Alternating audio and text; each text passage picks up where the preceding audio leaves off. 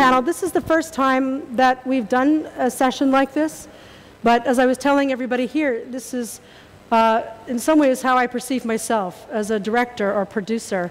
And I wanted to bring that conversation uh, to this community because we're all about content, aren't we, as, as, well as about technology. And I think we really need to talk to the people who are behind interactive story creation. and, you know, it, we could take an entire conference, I think, to deal with this topic. But uh, why don't we just get right to the, uh, the introductions, because these are really stellar people, and they were so kind to fly from various locations around the world. Thomas, did you fly in from London? No, LA. LA? All right, I thought you were in London. Okay, so we have Thomas Benski, who's the CEO of Pulse Films. I'll just quickly, Jason Trucco, who's an independent director in LA and uh, Toronto. Yvette Vargas, who's from LA, who's also a director, producer, digital content creator of all kinds. And we have Marc Smolowitz, who is a, a director, an Oscar-nominated producer. And uh, not that you guys aren't uh, uh, worthy of that Oscar, but that's just what happened this time. You guys, these guys have produced some really fantastic projects. And I wanted to ask them, you know, what that process is, the kind of stresses they have to deal with, the challenges, where they're taking their vision to create interactive stories, because without you, we, we have nothing to work on in this community, right? So I think we're going to begin uh, first, just to so people understand who you are with Thomas, and just say something a little bit about yourself, and then we'll show and real, so you see the breadth of what all of these people have done. So, hi, I'm Thomas. Sorry for the accent. Um, so, I, I, run a company called Pulse, and we are an integrated production company working across uh, film, television, advertising, music, and obviously um, digital platforms. And I guess our unique approach is the fact that we put talent at the core of everything that we do. And um, the reason I set up the company the way I did was to try and embrace the kind of fragmented landscape and try to kind of really encourage talent to embrace that fragmented landscape. So I guess we'll show you a little bit of what we do. Um, I think that's well, the one.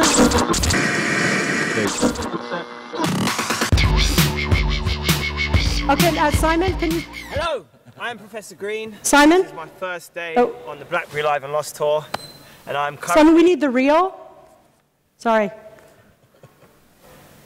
Well, one of the, uh, can we find the reel? I, am sure he will. But one of the reasons that uh, we sought out Thomas was because they were behind a project uh, that, Bob, that was uh, Bob Dylan's uh, Rolling Stone song that went viral yep. earlier in the year. And okay, oh, they're going to show that right now. Well, this is a project that uh, was done with Interlude, which is Yoni Bloch, who has spoken here a couple of times. Critical condition. why don't you just... I'll explain the project while you're looking at it a little bit. Sorry, but we'll look at your reel in a second.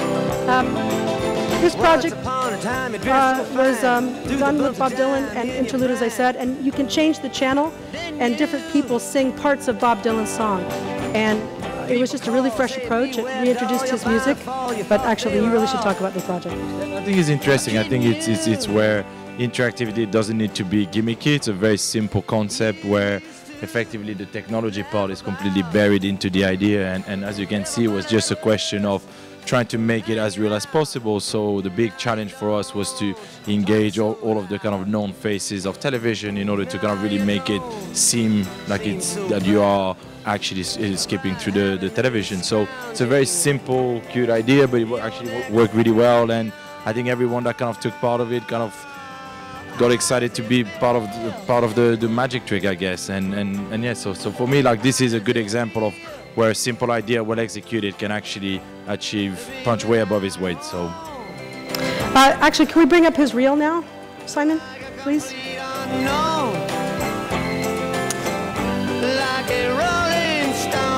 It's okay. We're. I don't know where I am because I'm lost. Oops.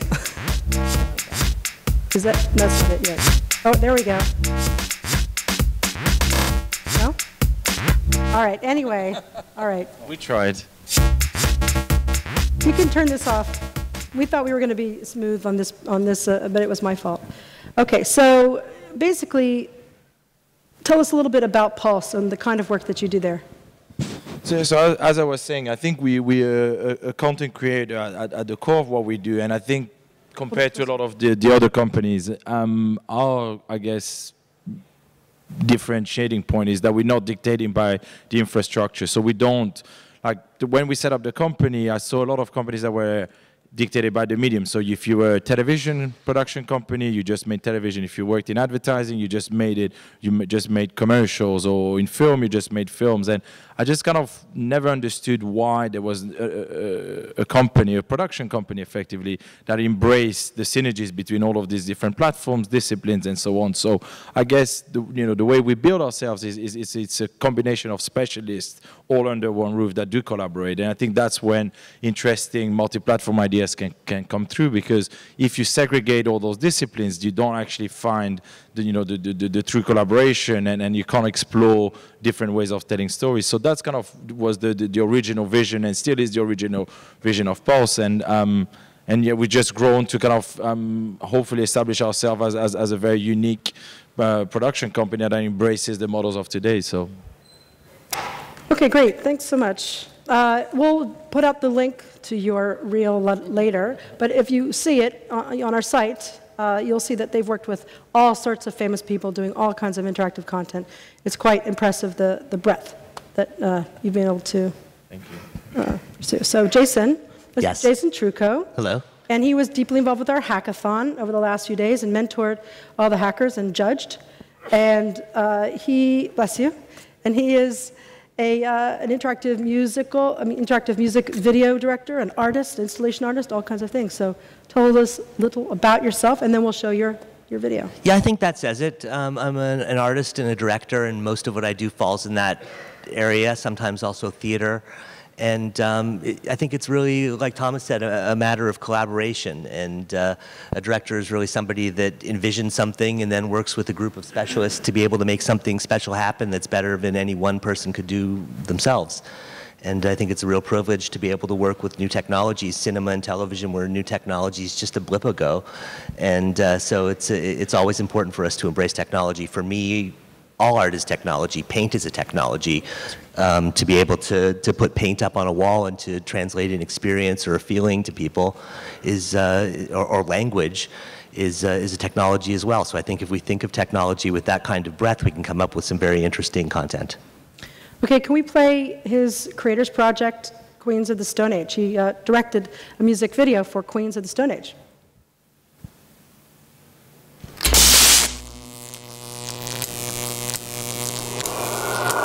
See it on that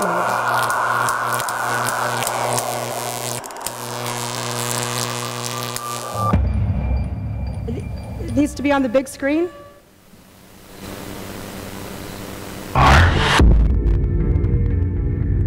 Come and meet queens of the Stone Age in the vampire of time. All right, you can cut that off. I don't know why this is happening. All right, that's okay. All right, let's, uh, Yvette, let's talk a little bit about you. Get my trailer oh, ready, please. Wait. Oh, wait. It's actually a different piece of media than that. Uh. Well, let's wait. We'll come back to it. Oh, is this it? Is that the right one? I think that's a trailer, but I'm happy, happy to watch, have you watch that.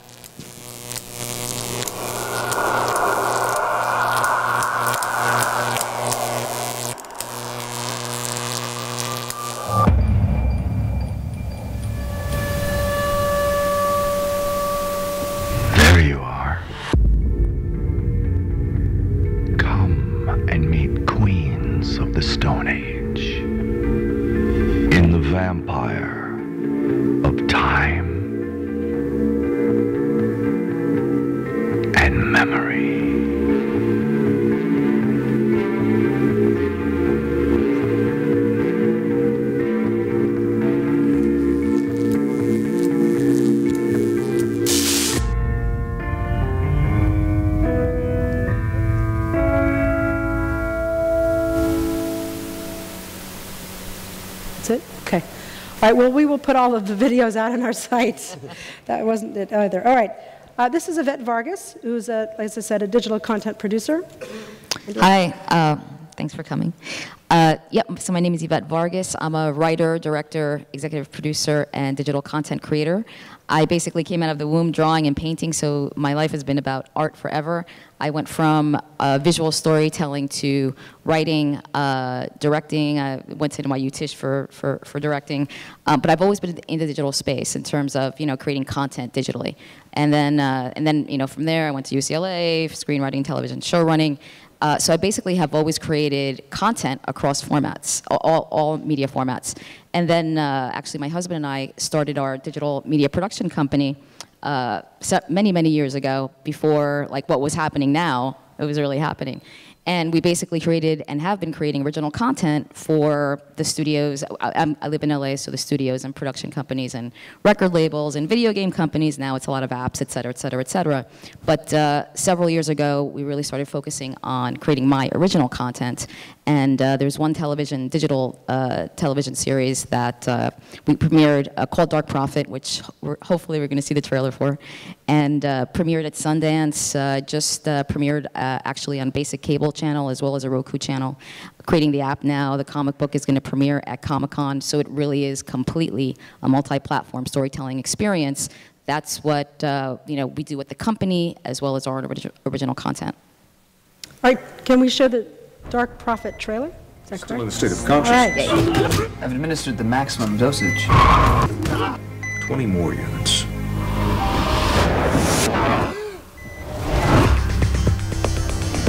The visions. They're getting worse. His activity keeps climbing. Have any idea what we're on to? I wrote you a song. In like what? 1.3 seconds? 1.2.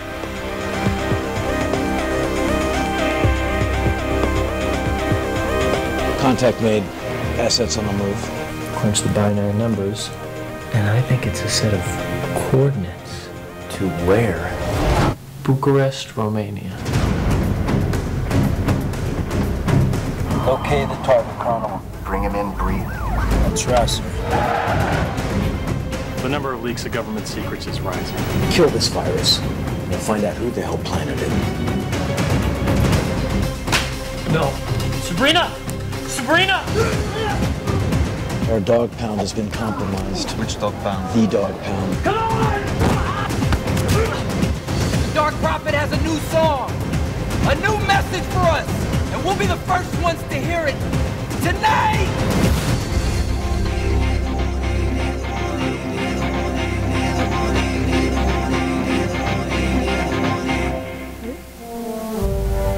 Dark Prophet. Is a sci-fi action thriller set in Los Angeles. The Dark Prophet franchise spans the full multimedia spectrum, including a web and TV series, smartphone and tablet apps, comic books, feature films, music, merchandising, and more. The Dark Prophet is Day Shepherd, a musical and mathematical genius who commits himself to stopping Black Box, a secret government agency which plants covert messages in songs. If the agency is successful and Day fails his mission, these messages would put a series of events into play that could lead to World War III. Dark Prophet's sole objective is to decode these messages and to stop Black Box. Integrated with the web series is the mobile decoder and music player app. The app runs on iPad, iPhone, Android, and the web. With this app, fans can decode and encode hidden secrets into Dark Prophet songs, loops, and ringtones. These messages provide a fully immersive, interactive experience that covers virtually all forms of multimedia all over the world, allowing fans to join in Dark Prophet's efforts to stop Black Box. This is Dark Prophet. The Dark Prophet has a new song, and we'll be the first ones to hear it tonight! Thank you.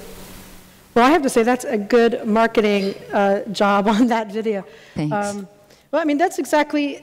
I mean, there, we will discuss. Well, we will discuss business, but uh, I mean, she's already you know marketing her content as a as a multi-platform property. You're well known for doing documentaries and meaningful documentaries, you know, uh, things that shake up the system, things that uh, interview people, but you have also a long history as being uh, someone in interactive content. You used to work in the ITV industry many years ago. Uh, why don't you tell us a little bit about what, you what you do now and um, also your interactive experience? Sure. Um, hi, everybody. So I'm Marc Smolowitz, and I'm a director, producer, and executive producer, um, largely in the independent film world. And my sort of substantial track record is in nonfiction and documentary. Um, I also work as a consultant whereby other filmmakers come to me and they hire me and I help them sort of steer their projects forward at every stage of a project. So I work from the early stages of an idea all the way through production, post, into completion and launch and distribution. And I think that sort of, you know, what has happened over the arc of my career, and I think, you know, interestingly, the arc of my career really went from analog to digital, and I sort of rode that arc of experience in terms of my professional experience, is that I came to understand that, you know, I wasn't just making a documentary, or I wasn't just making, you know, a piece of content. I was actually developing an enterprise around a story. And so I treat each individual project as a unique enterprise. I mean, so much so that I typically form a standalone company for each project. Um, and I have a very sort of a la carte approach to customizing the, the companies and what, you know, what their goals are. And they're typically, they can be under the umbrella of my larger company, which is called 13th Gen, but, but it, each project has unique needs. And so I sort of treat them as verticals within my work and we kind of develop them accordingly based on a good, you know, business plan to sort of developing the project. And I think in the nonfiction and documentary space, what's been really interesting, especially in the last five or so years, is this interest in what we refer to as transmedia or cross-platform storytelling. Um, yeah, there's, I do a lot of work in the social issue filmmaking uh, milieu, and there was this idea that you could really engage audiences and funders and partners and journalists and all these different stakeholders at every stage of a project if you had the infrastructure to, if you had the infrastructure to do that. Sorry. and so that's what I figured out kind of early on. Um, and one of the ways that I figured that out early on was I took a break from indie film and I went and worked in interactive television for a few years. And I sort of did so um, at that moment in time Which when company? Um, it was a company called Teletopia um, down in Santa Clara. And it was interesting because I was sort of the I was the one content guy in a company of engineers, right? And so I very quickly became sort of like the guy that everyone looked to you know, for that sort of sweet knowledge of like, well, what are we really trying to do here? Well, we're trying to tell stories, you know? And it was in that moment where online video was just sort of scaling up into something special, um, you know, but it was before the sort of dominance of YouTube and Vimeo. Was when there were many, many online video channels of all kinds. And my job was to figure out how to work with those companies and kind of aggregate their content into our web to TV system. So it was an early VOD, IPTV, you know, um, content provider for cable companies and satellite companies. And that, you know, three-year experience down in Santa Clara, you know, 24/7 with the BlackBerry and you know overseeing overseeing teams in a sort of you know, you know 24/7 environment around the world, you know, really kind of sort of opened my worldview around kind of what kind of storyteller I wanted to be in the 21st century. And then, interestingly, sort of landed back in independent film in 2008, 2009, with a much clearer purpose and vision around you know, the work that we're all describing here today. Um, interestingly, you know, there aren't a lot of us who kind of straddle that interesting space of, of opportunity and challenge between film and technology. Um, here in San Francisco, where I live and work, um, there are a few of us who are trying to make those connections and trying to you know, bring those industries together. Um, I joke a lot that you know, in the indie film world, you're sort of only as good as your, you know, your last success story, whereas in the technology world, you're kind of celebrated for your fail-forward approach to you know, being a risk taker. So here I live and work the, against the backdrop of Silicon Valley, and you know, but I'm a filmmaker and I'm supposed to be worried about getting into Sundance and my box office and you know my global my global sort of footprint, you know, you know, you know with theatrical sales and TV sales and all these things. Um, what it all comes down to is story as an enterprise, you know, and so wherever I get involved in a film project, I'm always looking for the different 10 poles of opportunity that are about building enterprise around story. Um, so for example, right now, I just recently finished a film as a producer, which is a music documentary about the life and music of Elliott Smith. And with this film, you know, where we're creating opportunities for interaction or interactivity is actually through fan engagement right? So Elliott Smith's music was wildly popular in the 90s, which was very much a pre-digital era, okay? So folks have have content that is pre-digital that we're inviting them to scan and to submit and to share and bringing to life a whole new digital archive of content about this artist that never existed before. And that's a very sort of small, kind of specialized example of kind of where you can sort of see opportunities within story, you know, to develop an interactive approach to building out your project endeavor, whatever it looks like. So I think it's really about evaluating, you know, your ideas for those opportunities. Thank you.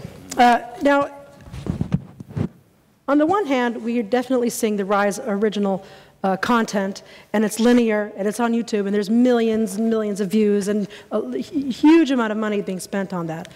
Uh, and yet, YouTube, for example, enables certain tools on their platform you know, to make it interactive, to allow you to, spawn, uh, to subscribe to it, allow you to do all kinds of things. And I've watched uh, annotations over the years, and I've watched people try to experiment with that platform. And, uh, but I also see that there's a struggle uh, between, there's still this need to create original content on demand. It's still compelling. We still, still tell stories in a direct manner.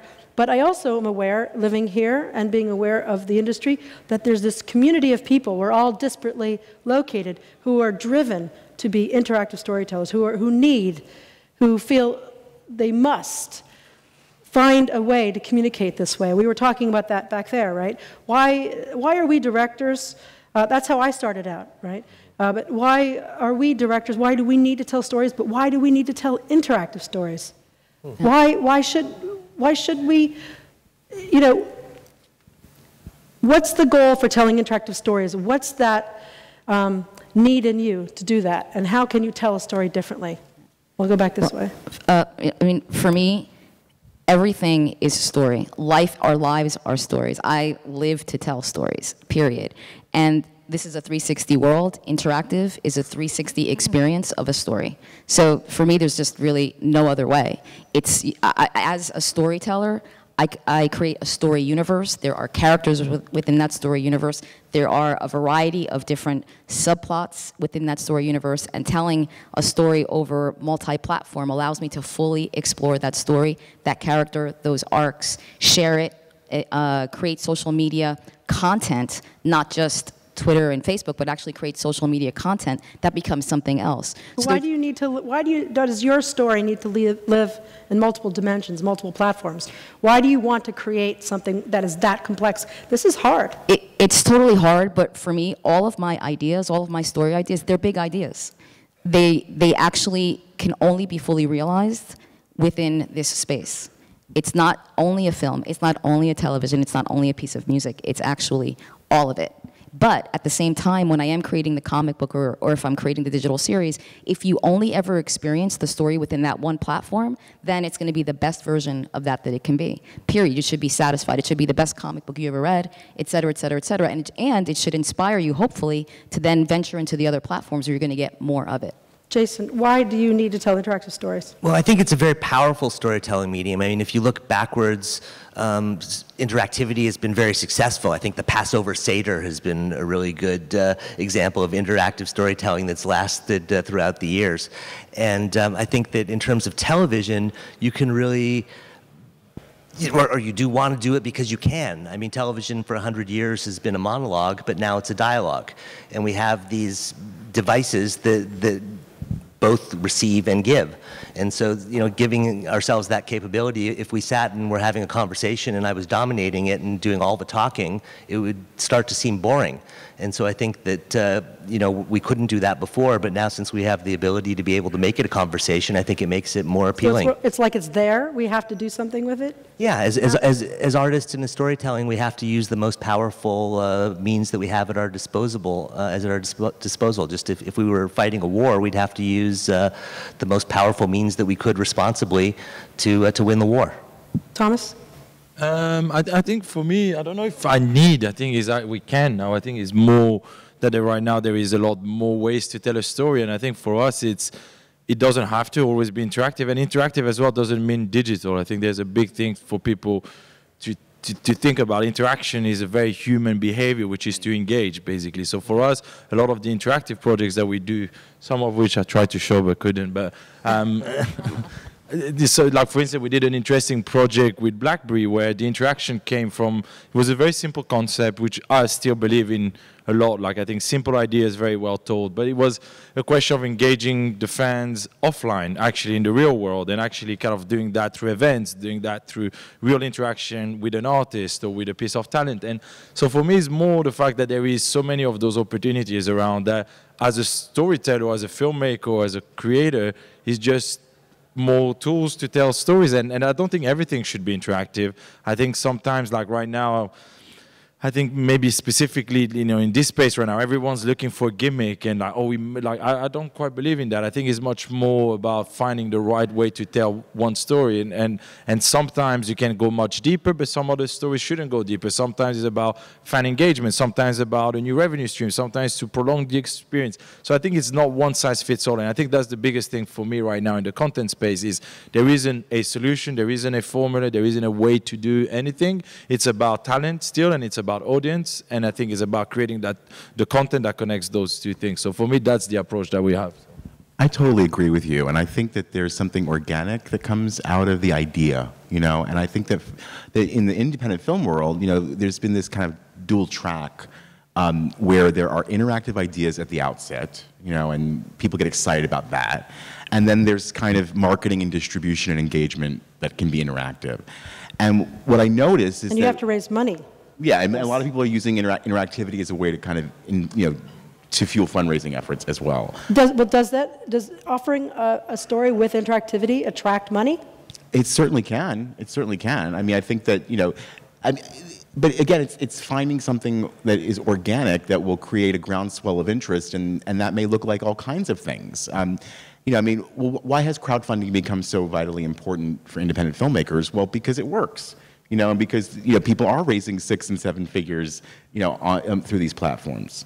Um, but I think that you know what what it provides is it's just a tool. You know, it allows people to amplify each other's voices and extend the message of whatever the goal is of what we're trying to do. Uh, in in that case, it's you know crowdfunding to fund a film.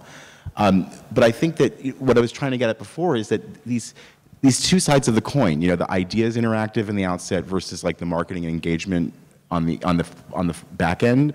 It, I think that ultimately there's potential for interactivity at every phase of an idea, and it's really trusting the process. That you know the way you describe that is really how I how I look at it. You have to kind of you know focus your energy where there are organic opportunities for interaction that make sense for your story.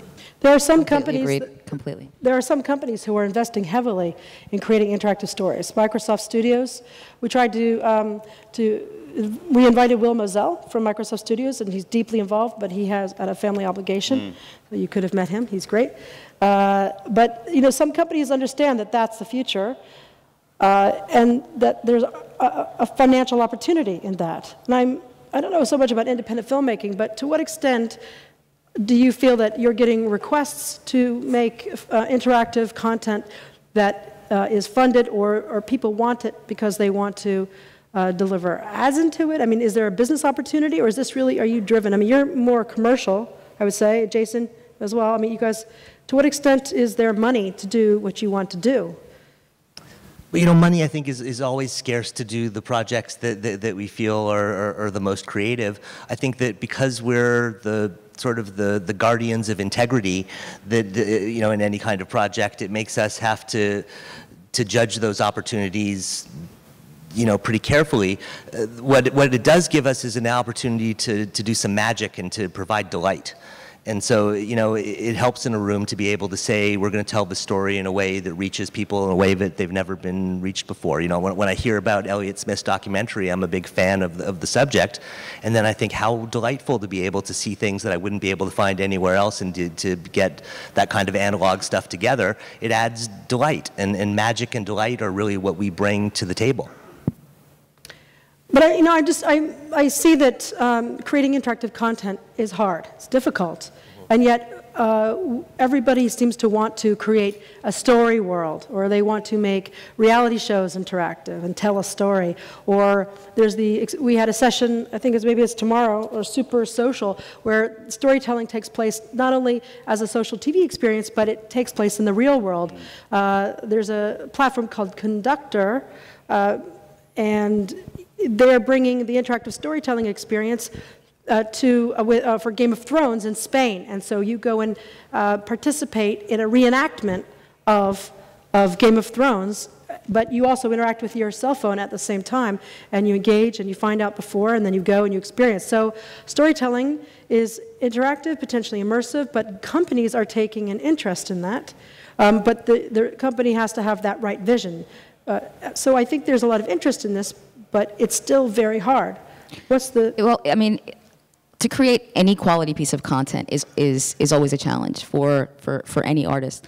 But you know, going, going back to these particular kinds of stories that are multi-platform, it is completely organic. It starts from the, the story, the concept, the, you know, like, like for, for myself with Dark Prophet, The concept actually integrates it, it, it, integrates music, it integrates this underground club scene, it integrates martial arts. I mean, there are a variety of integrations just with the concept. So from there, naturally, organically, you can see how it could spill over into platforms completely organically.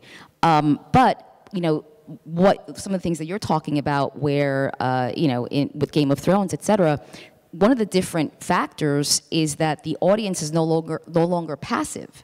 So they're part of the process. So that creates different opportunities. And as storytellers, uh, obviously, uh, we want to be able to capitalize on that and embrace that.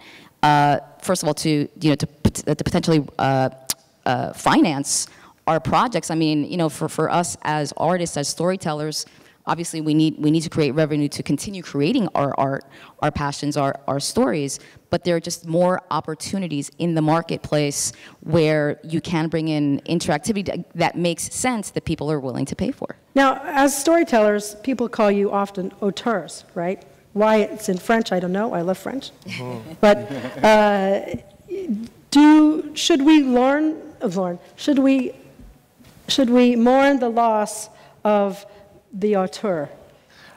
I have this conversation with many directors and, and, and good friends who are directors because I, I, do a lot of interactive work that's, um, let's say, a 360 degree video um, that I did for Devo where people can choose where they're looking, you know, in, in, space. And I have director friends who ask me, you know, why are you relinquishing the control of, of, where people are looking? You know, you, you had the control of being able to cut to a close up for, for meaning. And, you know, for me, it's that I think of it more like directing theater or opera where you know people look where they want to look, and so you're not really relinquishing control as an auteur. You're just uh, considering it in a different medium, and every time you work in a different medium, you're going to use the rules of, uh, of that medium. So we're we're really creating a new vocabulary um, of storytelling, and we're not you know shirking our, our, our duties or, or, or, relinquishing control. We're just uh, using the, a new vocabulary. Thomas, uh, did did you interact with Bob Dylan when you were creating? Unfortunately, no. Uh-huh. Um, I think Yoni Bloch told me that he did. Yeah, Yoni did because that's that's how the, the deal happened. But I wanted to talk just a bit okay. about like the, the business side of things, about whether there's money or not. Um, I think what's quite interesting with interactive is actually the engagement levels that you have, which effectively, uh, you know, I sat here today. I'm not from technology. I think most people in this in this room are much more around data and understanding those things. And I think what's truly, what's actually the truth is is is interactive content allows you to have much deeper engagement and that is actually a way to monetize that content in a much more effective way. So of course brands are going to try and you know probably pay a premium for interactive content and so on. So i think there's a very much a double-edged sword because to also create truly interactive projects is a lot more expensive to create a very very good website a comic book da, da, da, like all of those kind of things is actually going to probably double the budget of any piece of content. So in one way, yes, there is more money because you have bigger engagement, but in another way, your budget is much higher too. So I, again, I think it's a question of of understanding what is the best way to execute your project and, and who's the best financier behind it. And I think the one thing there is not a very clear um, process on is who are interactive financiers. Like I wouldn't be able to tell you, but I can tell you that if I create a piece of content that has, you know, three times the engagement of a, of a different, piece of content, I will be able to get a brand to pay premium for that and, and so on. So I think it's just a question of understanding where that money is coming from and ultimately it's about value. And I think interactivity just allows us as content creator to deliver more value to a brand, to an audience, and that is actually financially, um, you know, very valuable. There's, all, there's all, this, uh, this new opportunity for the broadcasters, anyway, because they have more money, uh, to look at the, uh, the big data that's being collected and allow that to influence how they create their stories. How does the independent director uh, even get involved? Do you want to use big data? Is that an idea? Is that um, is, because offering an interactive interactive story that collects data on how people experience that story, you know, that's a completely different form of storytelling. What do you think about? I would just say one thing. I think what would be interesting in this conference is the crossover between techno. Like I think for us, a lot of what is kind of been talked about today s- uh, sounds like Chinese. So for there's a lot of mystery I think around data and so on that in our world doesn't exist. So I think the more collaboration there is between creatives and technology and I think and so on, I think that's when we're going to find interesting collaboration. So I think That's why we introduced the idea of directors, and Marc was at our hackathon, and Jason, to, to talk to the hackers to inspire them. We're trying to do that. Go ahead. Oh, well, you know, it's a kind of building on the hackathon a little bit and kind of data and understanding kind of market relevance. You know, um, there were so there were there was a hackathon this weekend, and I was a judge, and you know there was some brilliant prototypes and some really fun stuff that, for me as a kind of consumer who enjoys technology, felt like a lot of things were kind of at least a decade off, if not 20 or 30 or 40 or 50 years off, just in terms of the concept and the, the market relevance and the applicability in my daily life. And then there were a few hacks that were like, wow, I could really see this, you know, being cool and relevant right away and, and finding its place in the market. And I think that that is part of, you know, that's where data comes in is, you know, you know, I can sort of, that's like what I just shared with you was like a gut response to like what a technology offering could provide in my life. But all of you who work in data, you know, you can sort of tell us really what trends are, you know, are interesting for large numbers of people. And I think that you know, on the content side, we need to sort of think about that, right? What are some of the what are some of the thing, things that data can that we can learn from data that will inform some of the choices that we might want to try and experiment with as storytellers? To me, that feels fun, interesting, and exciting as a director to you know actually think about. You know, in the same way that I'm sure developers think about when they're building apps and other cool stuff that you know they want they want to find a place in the market. For. But the, the careful line that you probably, as, a, as an original thinker, would want to find would be, you know, how do I embrace this new technology, this data? How do I uh, uh, come up with something original uh, and still be part of the, the, the real world? The, the, um, at the same time, you remove your ability to tell your story from your heart or, for, or an original story that you thought of. You're sort of looking at marketing data and trends and things like that. But um, it's interesting because some people would be very afraid as original storytellers,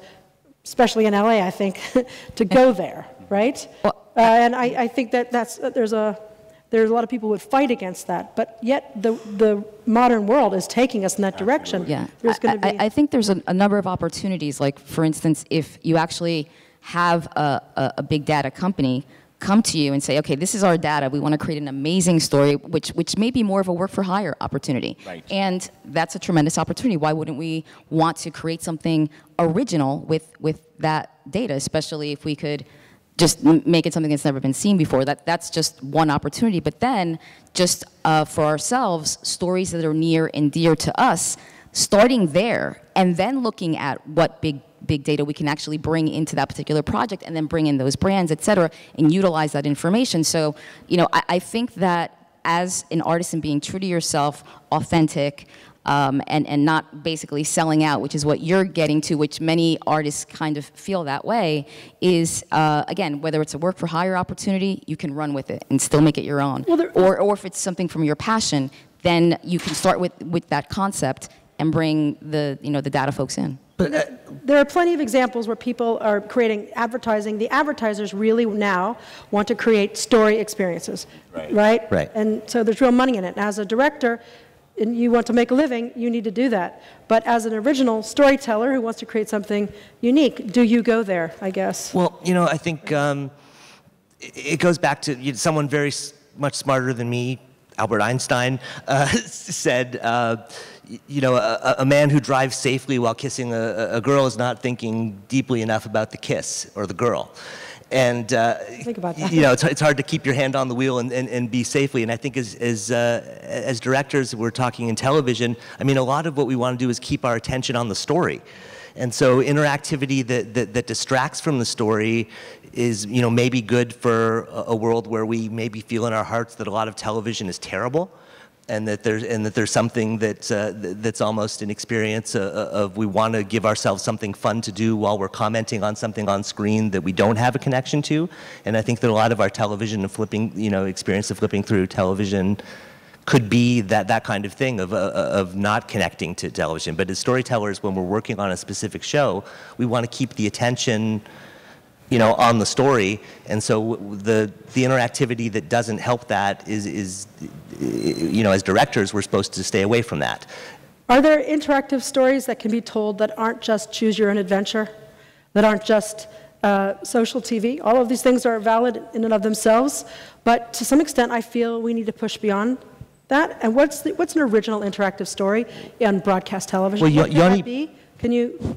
Yeah, well, Yoni Bloch has done some great work with that at Tel Aviv University.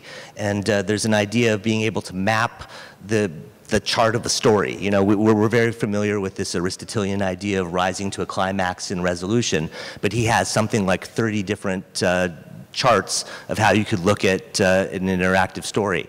And that works anyway from like if you think of do the right thing, right? It ends with uh, with Mookie Spike Lee throwing a garbage can through through a window. But we're looking at all the other things that happen in the city at that in, in the city of, of Brooklyn at that time. And uh, so, you know, you have that where it's leading to one comp, uh, to one ending. You have another way where it's a choose your own adventure where there could be a multitude of, uh, of climaxes or endings.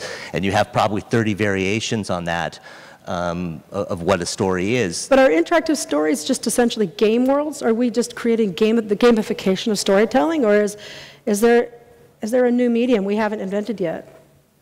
I, I mean, I A new way of telling stories.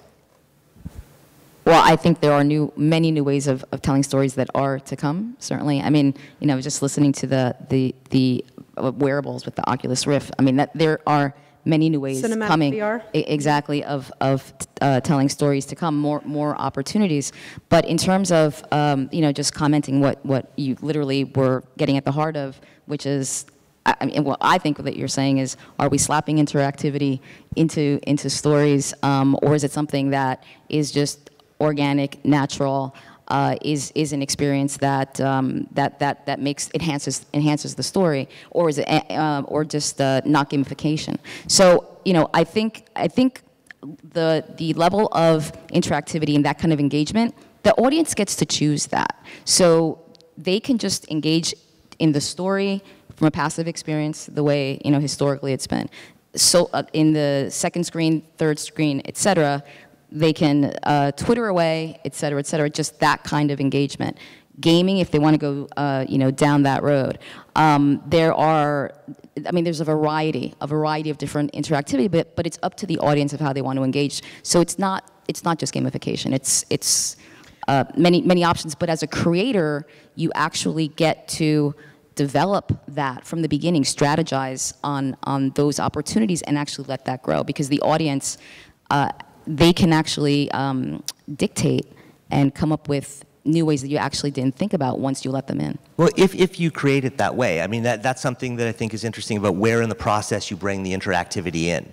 Is, is that my dream situation is when I develop it with technologists, when, I, when, when I'm able to, to create a story that uses the technology intrinsically to the storytelling. Invariably, in, in most solutions, people, technologists are developing something for every eventuality. And, uh, and I think where we as directors come in is by saying we need this one thing to work this way, and the rest of the eventualities don't matter to us. And unfortunately, the, the process is that the technologists and, and the technological thinking and, and many of the, the people that I meet at the show come in very, very late. There's, al there's already a script, there's already characters, there's already stuff in the can, and now we're seeing, you know, how can we dial a phone to somebody while they're watching the show?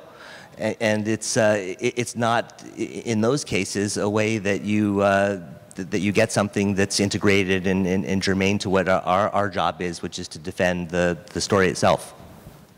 Exactly. I, th I think that you know part of what I'm engaged with in my own work in this current moment, which has been sort of you know unfolding for a few years now, is that the field is changing and the field is sorting it out. You know, and as a filmmaker or a storyteller or however you want to refer to yourself in this conversation, the field is we're sorting these things out in real time, and we're you know we're trying things, we're doing experiments, you know, we're taking risks, we're you know we're we're seeing you know what the technology can help us to stretch to do with our stories. Mm -hmm. But I actually think that we're living and working in what I, I refer to as kind of a bridge period, where there's, I, I, feel like we're living and working in what I refer to as a, as a bridge period, where, you know, and, and there's been a lot of sort of future conversations around like what might be possible in the next decade and, you know, what in terms of, you know, holograms and, you know, and I always say if it's not going to stand there, you know, right in front of me and I'm going to be able to make love to it, then, you know, I really don't care, you know. um, you know, and I, and I say that quite seriously, you know, it's like until that is sorted out, like I'm just going to keep making independent films and kind of figure out what are the appropriate ways to tell the stories I want to tell given what technology can, you know, can provide. So in this bridge time, that's why we're all sort of, you know, doing the heavy lifting of figuring this stuff out, you know. I don't, I, I don't want to feel like this is sort of a compulsory conversation, you know, like I have to do X, Y, Z in order to package my project for funding, you know, for su successful distribution, whatever you want to call it. You know, I, I think that in this bridge time, you know, we have to cherry pick the right strategies for our projects in ways that feel authentic and will connect with audiences. And anyway. Well, actually, we're going to have to close. But the, the point that I wanted to make by having this great conversation with, uh, with people whose work I really respect uh, is that uh, there's so much to explore. We still have to keep working. The great pieces, the, the things that are historic, you know, will emerge if we keep working at it. And there are experiences where, uh, you know, you might interact with Twitter characters that don't really exist. There might, you might go into a, an immersive VR experience, but then have your iPhone and you have to go somewhere across town to finish the story. It might be something that the broadcasters do where they want you to go from platform to platform. Whatever it is, is we, we must, as human beings, and we must, as people who believe in the interactive television medium, we must find ways to allow the storyteller to be part of our overall experience because, you know, to, to tell a story is the most essential way that we communicate and transmit what it's like to be us here and human now. And uh, we don't advance as a civilization unless we do that. Let's make some money doing that, but I think that's really where the meaning is. That's where it's really fun. And I hope we will keep experimenting and, uh, and trying something new in our work and, and uh, let people like this come into your life and help you uh, uh, push what you're doing a little bit further, just, just a little bit. Thank you. Thank you. Thank you. Thank you, guys.